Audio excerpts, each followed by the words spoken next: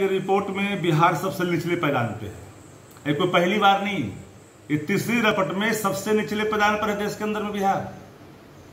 इस रपट आने के बाद जब देश के अंदर में चारों तरफ़ नीतीश कुमार की कार्यशैली पर सवाल खड़े हुए तो जनता दल यू परिवार थोड़ा सदमे में आ गया।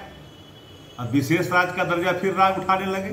आप भूल क्यों जाते हैं कि तत्कालीन मुख्यमंत्री आदरणीय श्रीमती राबड़ी देवी जी ने अटल बिहारी वाजपेयी के समय बिहार को विशेष राज्य के दर्जा की मांग की थी?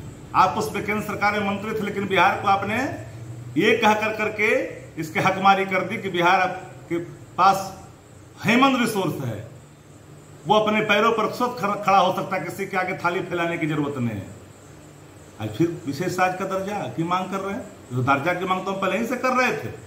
अतः आप मान गए ना कि आपके कार्यशैली, आपके कार्यक्रम से बिहार निचले पैदान पे है। और कई ऐसे राज्य हैं जहाँ पर खनिज संपदा नहीं है, वो अभी पीछे नहीं है। केरला में क्या हुआ? केरला फ़र्स्ट कर गया भैया। कोई ऐसा सेक्टर नहीं जहाँ पर अराजक स्थिति नहीं है। पंद्रह वर्षों में बुरा नहीं मानिएगा।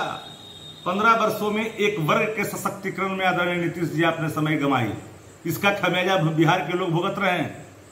नौकरियों में, सरकारी संपत्तियों पर एकाधिपत्य एक वर्ग का जमा।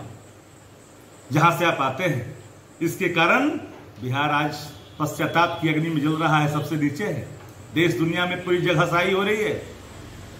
मैनेजमेंट करता, विकास पुरुष। कहाँ गया विकास पुरुष?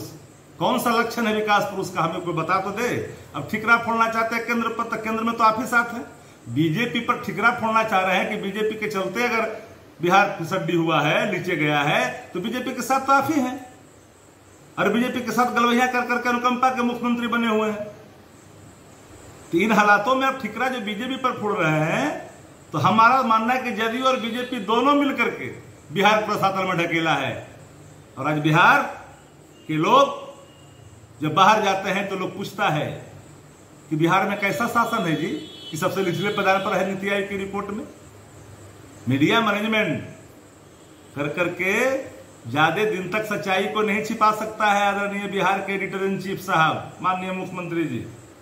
नीति आयोग की रिपोर्ट आपकी सारी खोल करके रख दिया। सारी कलई खुल गई।